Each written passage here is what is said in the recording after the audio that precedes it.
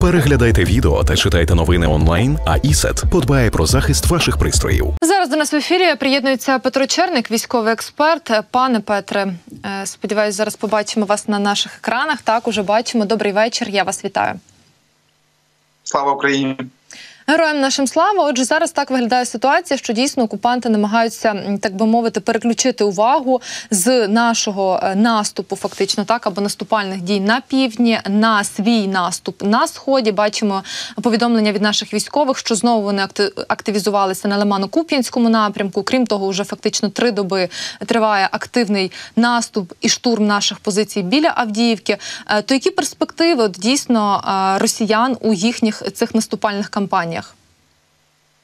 Ну поки що не успішні. За за дві доби втративши два повноцінних механізовані полки. Бо якщо всю бойову техніку скласти разом, особливо танки і особливо бойові броньовані машини, а вони вже за дві доби сягають до 200 одиниць, то скажімо, повноцінний танковий полк це 94 машини. А повноцінна механізована бригада це у межах 100 бойових машин піхоти чи БТР, залежить від чого на цьому воюють.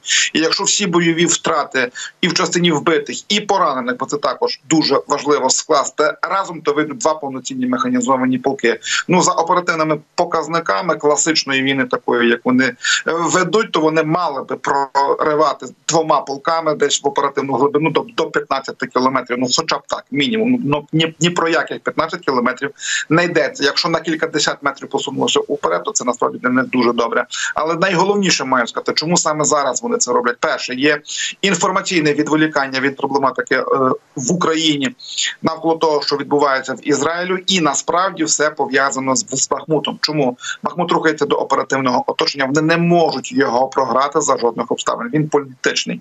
Як тільки Бахмут буде оточений і те угруповане буде знищене, а ще краще, щоб кілька тисяч росіян здалося у полон, то це для них буде мега поразка. От вони і намагаються робити все можливе, щоб цього не сталося. Саме так треба дивитися на їхні наступальні дії, як на Куп'яно-Лиманському напрямку, так і на і на Авдіївському. Але в підсумку за дві доби все на нашу користь. Ну дійсно, наші військові, по перше, вже показали відео боїв за залізницю у районі районі Бахмуту. Крім того, наших збройних сил повідомляють про те, що на е, пів на сотні метрів просунулися південніше самого міста е, Бахмут. Е, то чи означає так, що ці атаки вони не намагаються, скажімо так, ну дійсно там захопити нову територію, там те про що вони активно зараз говорять, оточити саму Авдіївку. А тут стоїть мета саме відтягнути наші сили і відтягнути наші війська та на та на своє інформаційне поле вони будуть говорити що завгодно, а що їм залишається. В них немає прецеденту успіхів. Їм треба ці успіхи генерувати, хоч якісь. Ну є ще один такий, знаєте, на направду дещо стратегічний аспект. Він він доволі серйозний. Вони намагаються затягнути бойові дії і у, у високій тональності, так як вони зараз виглядають до листопада місяця, щоб направду зайшли дощі, все перетворилося у болото, бо Путіну потрібен відносний спокій перед виборами на початок весни. Йому треба, щоб все більш-менш виглядало спокійно, і направду треба, хоч якихось перемог. Осягнуть, не осягнуть, а на своїх розкажуть що завгодно. Будь-що вони продадуть свої масі. Однак я залишаюся на своїй головній позиції, що все ж таки головний камінь спотикання це Бахмут. Е, зрозуміло. Ну і так само, як повідомляє очільник військової адміністрації Авдіївки, що е, під е, Авдіївкою самою вони дещо змінили тактику, і там противник не використовує військову техніку, а штурмує лише однією піхотою. От вони підвозять такі групи до передової по 20-30 осіб. Ну і власне, як описує ситуацію Барабаш, то як таргани вони намагаються десь знайти якусь щілину. А чим продуктована така тактика, і чи можемо ми робити висновки про проблеми саме з е, технікою у окупантів.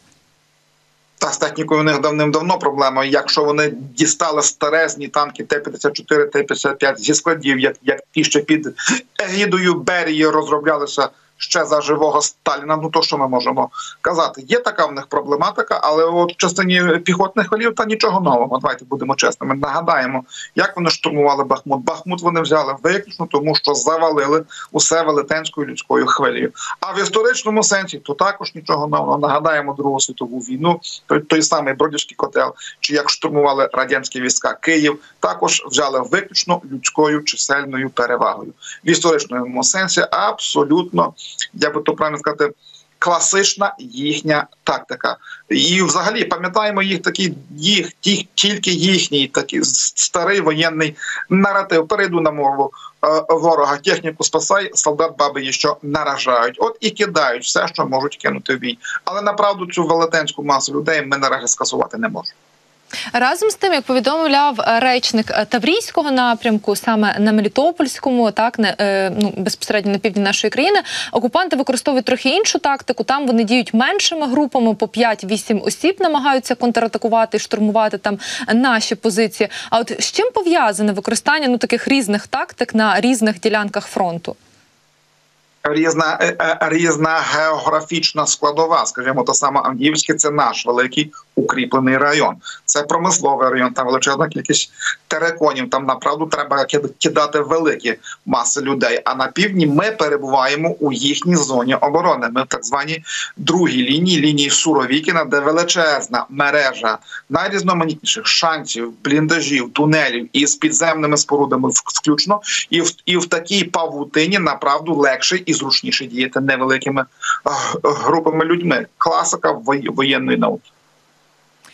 Щодо ситуації, якраз на Мелітопольському напрямку, австрійський аналітик Том Купер писав, що там дуже важко нашим збройним силам просуватися через те, що окупанти постійно дуже активно і вправно, як він відзначає, перекидають резерви.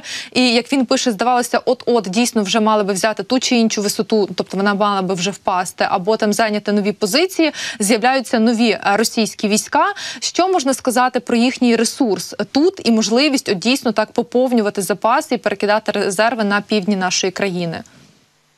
І не тільки на півдні не зовсім коректно е, е, сепарувати фронт умовно на схід і умовно на південь у частині потенціалу забезпечення людським матеріалом. Росіяни сам самі декларують свій мобілізаційний ресурс у межах від півтори мільйона людей до трьох мільйонів людей. І ми ми маємо до цього поставитися серйозно. Щонайменше на цю хвилину в межах 20 тисяч людей вони стабільно заміщають підкреслю, поки що заміщають наростити велике угруповання. Їм наразі не видається. Ми я вже приводу приклад про двох механізованих полках при направду потужній силі і вмінні воювати так, як треба. Ну вони би просунулися ну, хоча б на кілька кілометрів уперед, а просунулися на кілька десят метрів. Це дуже важлива деталь. Є в них людський ресурс, є і буде.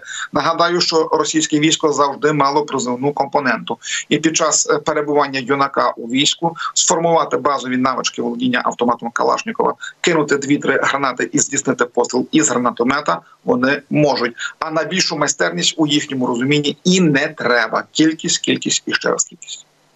Ну і схоже, дійсно суттєво бояться окупанти нашого наступу. Як повідомляє партизанський рух, АТЕШ, то окупанти розпочали уже підготовку до оборони Маріуполя. Безпосередньо повідомляють про е, перекидання тих званих е, так званих зубів дракона, і не тільки а, власне е, проводиться будівництво нових оборонних ліній на північ від і на захід, власне, від міста Маріуполь.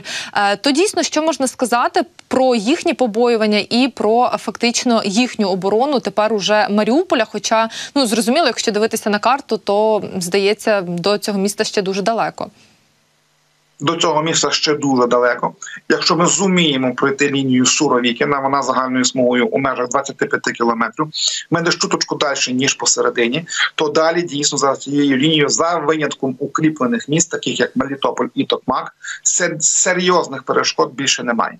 Аж до Перекопського перешийку або аж до самого Маріуполя. Але треба не поспішати і дуже адекватно зважувати ситуацію. Давайте нагадаємо, як довго наші оборонці тримали Маріуполь. Це при тому, що ми були не готові готові до такої оборони, і нас було суттєво менше, і тим не менше залили е, ворогу сала за шкіру. А тепер перевертаємо все навпаки. Ворог буде битися за це місто. І велике питання: чи вартує його брати в лоб, так як взяли вони його, і класти таку велику кількість особового складу. Треба набиратися терплячості і чекати, допоки проламаємо. Найголовніше південний плацдарм, вийдемо на північне Поазов'я, закріпимося умовно в районі молочного лиману, і тоді вже будемо мізкувати, що робити далі. Ми серйозно забігаємо наперед.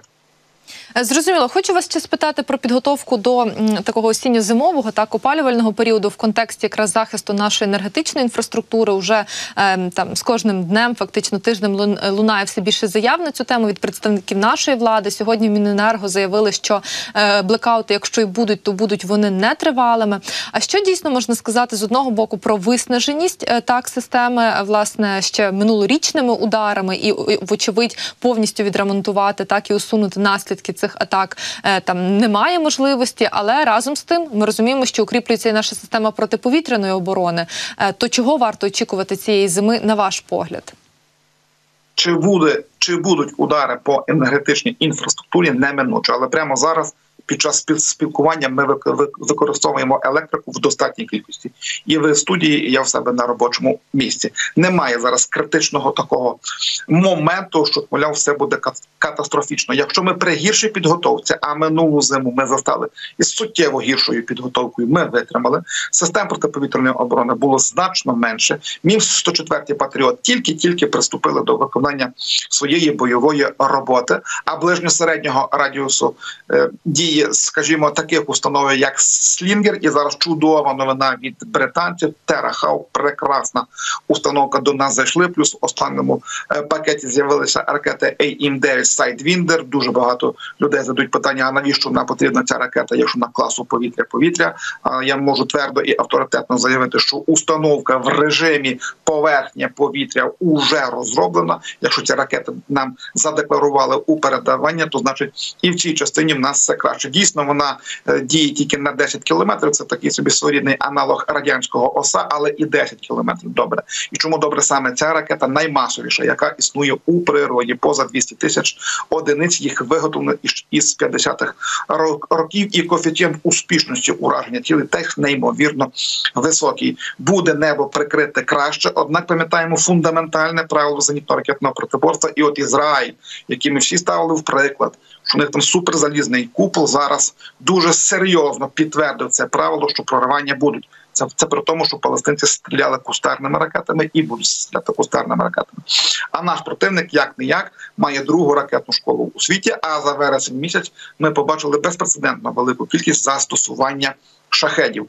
Проривання будуть, про це пам'ятаємо, однак точно переживемо ж зиму. Бо якщо, скажімо, у листопаді минулого року було проблема знайти звичайний без бензодизельний генератор для власних потреб, то тепер ринок цим насичений з невеличкими електричними станціями у великими павербанками, так званими включно впораємося, але боляче буде. Ну от далі, якраз про Ізраїль хочу вас спитати. Вже шостий день фактично триває війна. Сьогодні повідомляється про те, що армія оборони Ізраїлю завдала нову хвилю ударів, зокрема по елітних підрозділах е, Хамасу. І Цахал повідомив про те, що авіація завдала удару по резиденції, зокрема високопоставленого бойовика у військово-морських силах Хамасу. Його ліквідували, а саму резиденцію так само знищили, яка використовувалася для е, зберігання зброї.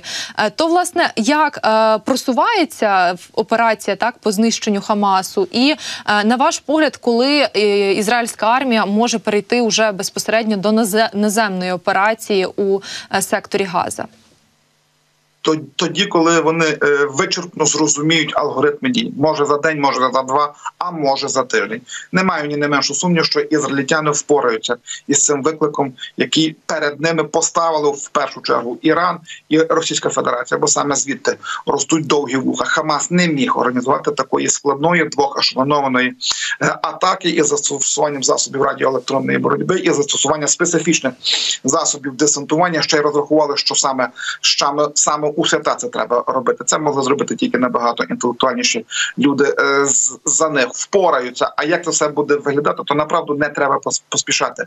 Газа дуже складне місто. Там 2, 2 мільйони люду, дуже щільна забудова. Терористи будуть діяти дуже підло і дуже мерзенно. Вони будуть прикриватися жінками і дітьми. І тут ізраїльтянам треба тільки розуму, розуму і ще раз розуму. Бо мужності і рішучості так виглядає, що їм вистачить. Ну і як повідомляє Єрусалим Пост, е, зокрема, завдав сьогодні Ізраїль також двох ударів е, по сирійських аеропортах, по двох сирійських аеропортах.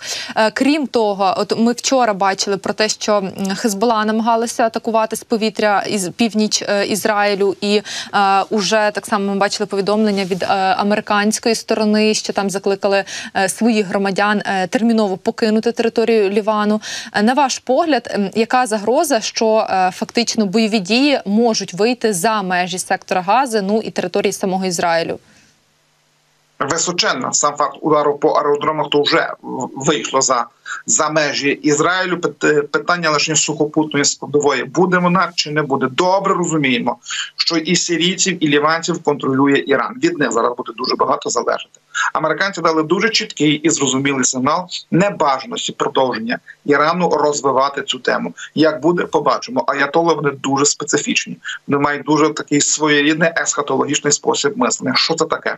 За, за, заради своїх теологічних уявлень про світ вони можуть спалити світ у ядерному апокаліпсисі. Питання, чи вони вже цю мають ядерну зброю, чи ще не мають. Тут величезна дискусія, наскільки вони вже збагатили у уран до, до того моменту, з якого можна добувати збройовий плутоній, але загалом підтверджується.